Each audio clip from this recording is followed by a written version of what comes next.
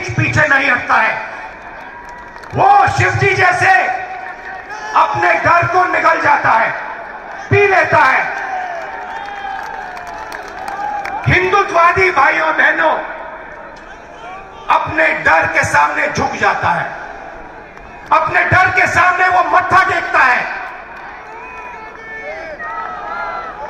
हिंदुत्ववादी को उसका डर डुबा देता है और इस डर से उसके दिल में नफरत पैदा होती है।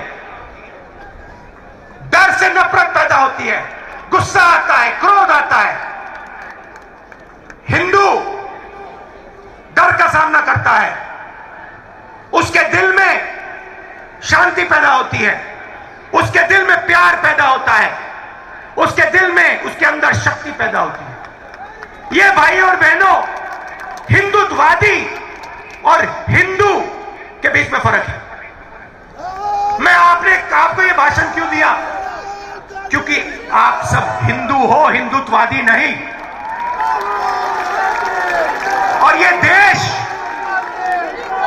हिंदुओं का देश है, हिंदुत्ववादियों का नहीं।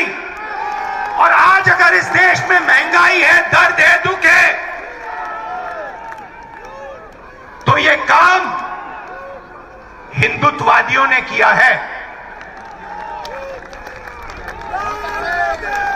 हिंदुत्ववादियों को किसी भी हालत में सत्ता चाहिए। जैसे महात्मा गांधी ने कहा,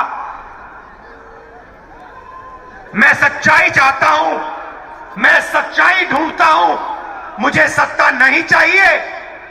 वैसे ही ये कहते हैं, मुझे सत्ता चाहिए, सच्चाई से मुझे कुछ लेना देना नहीं। सच्चाई जाए बाहर में मुझे कुर्सी मिल जाए बस। और 2014 से इन लोगों का राज। हिंदुत्ववादियों का राज है, हिंदुओं का नहीं। सही है ना? हिंदुत्ववादियों का राज है, हिंदुओं का नहीं। और हमें एक बार फिर इन हिंदू, इन हिंदुत्ववादियों को बाहर निकालना है। और एक बार फिर हिंदुओं का राज लाना है। हिंदू कौन? जो सबसे गले लगता है। हिंदू कौन? जो किसी से नहीं डरता है। हिंदू कौन? जो हर धर्म का आदर करता है वो है हिंदू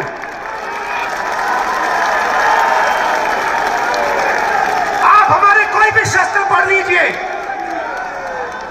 रामायण पढ़िए महाभारत पढ़िए गीता पढ़िए, उपनिषद पढ़िए, मुझे दिखा दीजिए। कहाँ लिखा है कि किसी गरीब को मारना है? कहाँ लिखा है किसी कमज़ोर व्यक्ति को कुचलना है? कहाँ लिखा है? मुझे दिखा दो। कहीं नहीं लिखा।